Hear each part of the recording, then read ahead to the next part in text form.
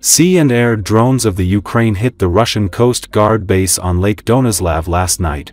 The occupying Russian naval forces conducted exercises to protect the waters of Lake Donuzlav in Crimea. Thanks to the Ukrainina drones, these exercises became a failure, because the Russians could not even defend their base, not to mention the waters of the lake. As a result of a combined attack by sea and air drones on the Russian Coast Guard base, the following were hit and disabled, headquarters with a control center, ammunition and equipment warehouse, electrical substation, technical structures, enemy firing positions. This is another reminder to the enemy that Ukrainian Crimea is turning into a trap for the Russians, in which they will be systematically destroyed.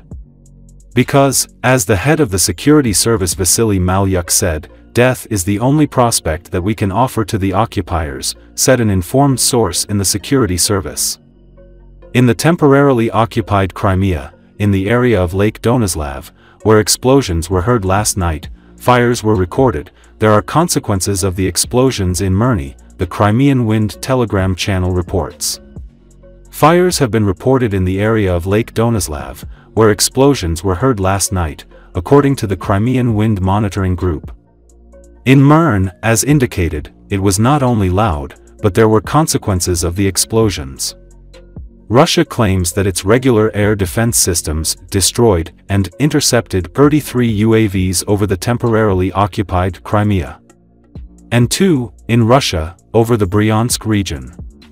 The Russian Ministry of Defense also stated that it had destroyed 10 unmanned boats heading in the direction of the Crimean Peninsula in the Black Sea.